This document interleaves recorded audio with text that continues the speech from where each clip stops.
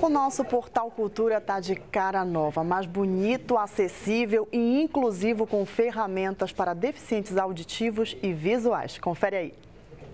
Um novo site com espaço virtual moderno e design atraente.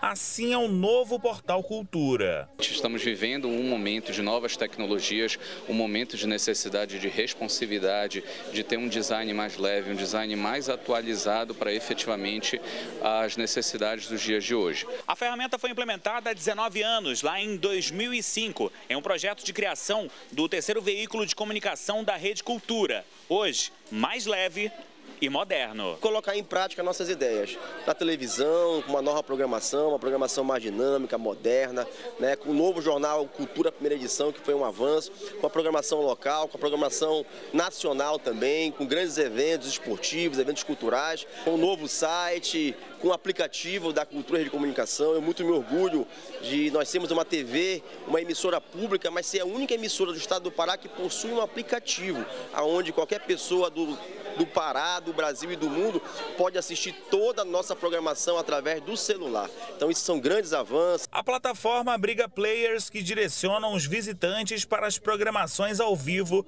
da TV e Rádio Cultura, permitindo a experiência de poder acompanhar três veículos de comunicação em um só lugar. Nesse novo portal, a gente tem uma coisa muito importante, que a gente já tem os players da TV ao vivo, a gente já tem o player da, da rádio ao vivo também, do estúdio live da rádio, e também a gente conta com um aplicativo de acessibilidade, onde no player ao vivo da TV, você, você aperta no botão e a gente já conta aí com o recurso de um avatar de Libras para estar tá dando conta aí de fazer a nossa comunicação mais inclusiva. O novo site também oportuniza quem acessa a chance de acompanhar as principais notícias divulgadas de uma forma mais limpa e dinâmica, ficando atualizado do que acontece no Pará, Brasil e no mundo.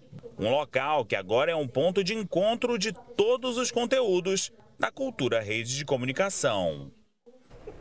Então, se você quiser saber como ficou o novo Portal Cultura, acessa lá portalcultura.com.br.